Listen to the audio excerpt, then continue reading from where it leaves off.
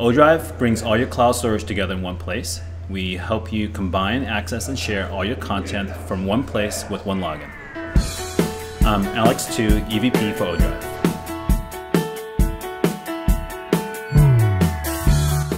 We help Amazon Cloud Drive users sync with their desktop. All you have to do is link your Amazon account to create a sync folder, and ODrive automatically syncs changes between the folder and your Amazon Cloud Drive. Working with the Amazon Cloud Drive API was surprisingly easy. It was straightforward and the documentation was really good.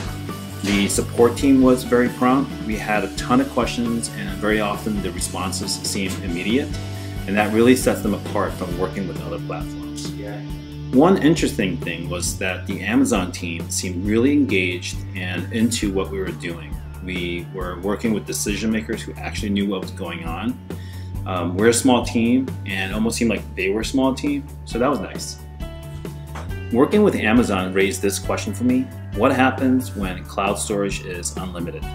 We think that this will change how people use cloud storage and also drive true innovation in the cloud. So we're really looking forward to working with Amazon and seeing what we can build together.